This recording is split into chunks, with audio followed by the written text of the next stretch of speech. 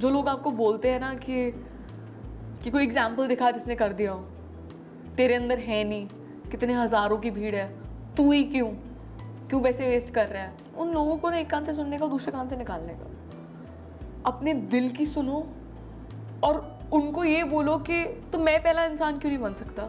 तो I think वो कौन, वो आपको अपने ऊपर बिलीव होना चाहिए। और अगर नहीं है तो आपको लाना चाहिए।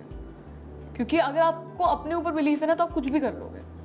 एक्टिंग करो ना करो डांसिंग करो ना करो कुछ भी लाइफ में कुछ ना कुछ कर। लो तो आई थिंक वो बिलीफ होना बहुत इंपॉर्टेंट है कि कि मैं निकल जाऊँ। So I think that is one thing that you need to work on audition से मत डरिए क्योंकि हर एक ऑडिशन आपको कुछ ना कुछ सिखाता है।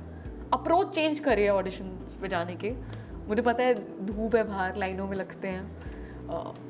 कॉल uh, बैक नहीं आता है। एंड अगर आप जब वो लाइनों में भी है ना तो आप अपने आसपास के लोगों से सीख सकते हैं, उनकी जर्नी सुन के, उनके कैरेक्टरिस्टिक्स देख के। तो I think this is the best job in the world क्योंकि आप कहीं पे भी हैं, आप कुछ ना कुछ किसी से ज़रूर सीख सकते हैं।